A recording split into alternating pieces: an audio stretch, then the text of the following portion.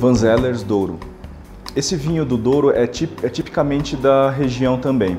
Ele tem sete castas típicas portuguesas, algumas típicas do Douro, outro, outras típicas de uma região vizinha.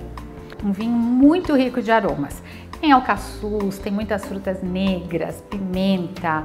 Em boca, ele tá um vinho também muito agradável, que tem bastante acidez combinando com o tanino. Então é um vinho que está bem equilibrado, bem gostoso.